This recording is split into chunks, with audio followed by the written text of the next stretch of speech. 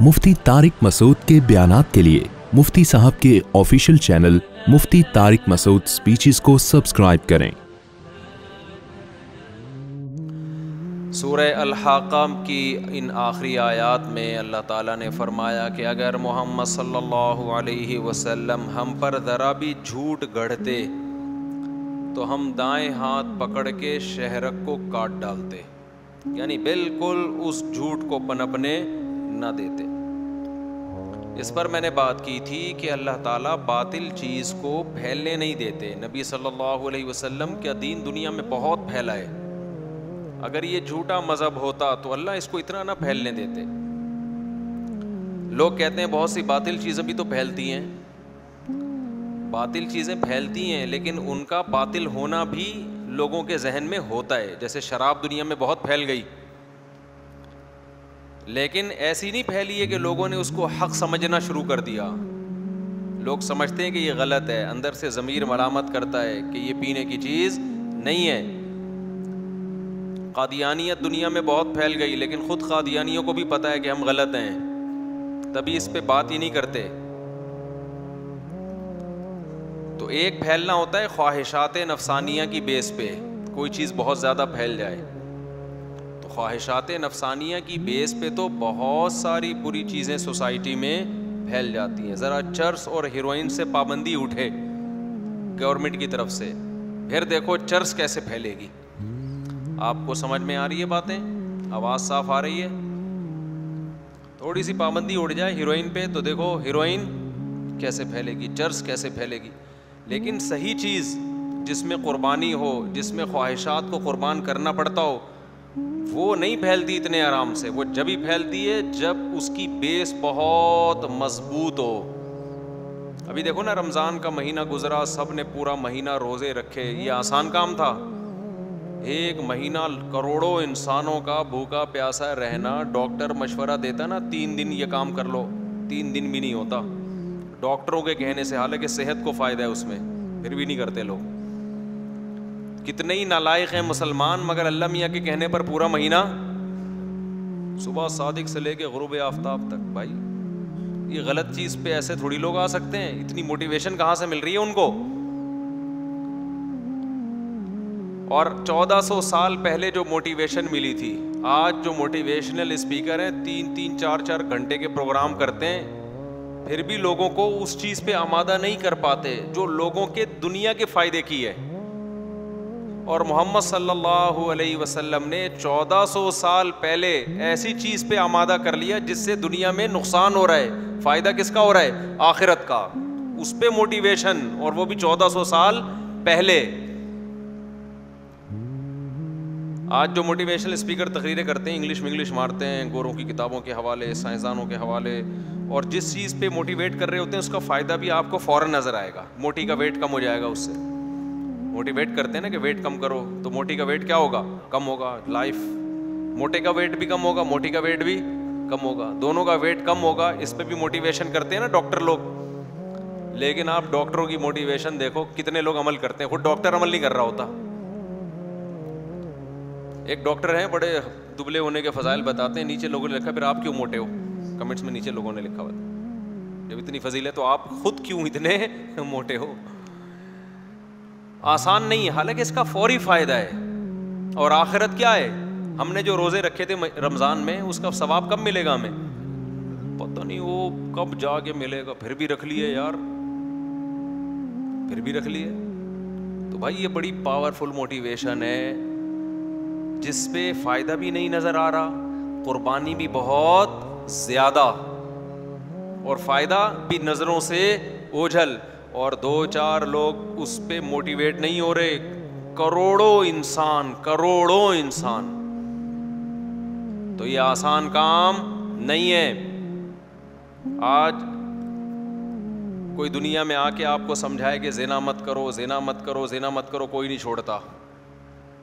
लेकिन करोड़ों मुसलमान जेना से बचते हैं। हालाँकि कितनी अट्रैक्टिव चीज़ है जेना करना। कितनी अट्रैक्शन है उसमें। और आजकल तो कितना सस्ता हो गया है। ठीक है, जिना बहुत फैल गया, अल्लाह ताला हम सबको महफूज रखे, लेकिन मुस्लिम कौम में बचने वालों की तादाद अभी भी करने वालों से ज़्यादा है। तो बच कैसे, एक आदमी भी कैसे बच रहा है? एक आदमी भी कैसे बच रहा है भाई? अच्छा खासा मुश्किल काम है, इसमें अट्रैक्शन इतनी है। लेकिन आज भी मुसलमानों में गालिब लोग जिना से बचते हैं। तो ये कहाँ से मोटिवेशन मिली उनको? मोहम्मद सल्लल्लाहु अलैहि वसल्लम से।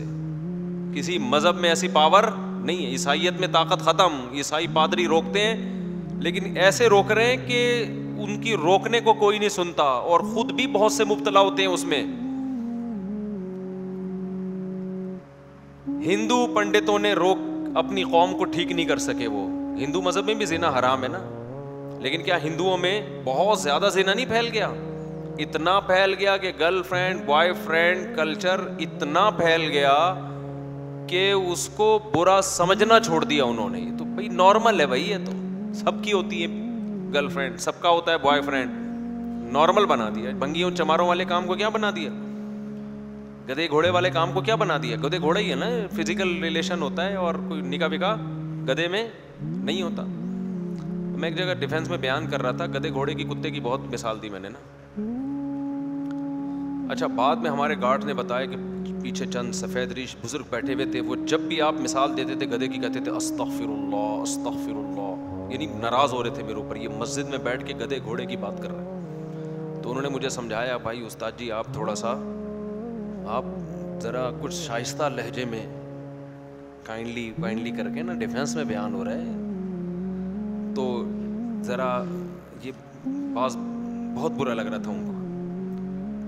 तो मैंने कहा, यार, जिना के ख़िलाफ़ मैं बोल रहा हूँ और मैं बोल रहा हूँ कि निकाह करना इंसानियत है और औरत से सिर्फ़ फ़िज़िकल रिलेशन हो, अपनी ख्वाहिश पूरी करना, बग़ैर शादी के, ये गधे घोड़े और माजरत के साथ कुत्तों का काम है ना? अब क्या करें? कुत्ता तो मुँह से निकलेगा मेरा। या तो कुत्तों से ये काम छुड़वा लो आप। क्या ख्याल है? गधों से, कुत्तों से, घोड़ों से ये काम छुड़वा लो, ताकि ये गधे घोड़े कुत्तों का काम रहे नहीं। काम गधे घोड़ों कुत्तों वाला कर रहे हो भाई, और मैं उसको बहुत खूबसूरत मिसालों से मैं बोलूँ कि गैर अखलाकी हरकत है। गैर अखलाकी हरकत इतना हल्का लफ्ज जिना के लिए, जिना के लिए इतना गैर अखलाकी। क्या है भाई? इतना सा गैर अखलाकी काम है तो अल्लाह क्यों कह रहे सौ कोड़े मारो जानी को। और शादीशुदा जिना करे तो पत्थरों से मार के उसको रजम करो। इतना हल्का काम है अल्लाह मियाँ तो इससे ज़्यादा सख्त सजा दे रहे हैं। मैं तो सिर्फ़ गधा कह रहा हूँ। क्या ख्याल है भाई? तो गधा पहने पर भी पाबंदी लगा रहे हो? कह रहे मस्जिद में गधा ना बोले।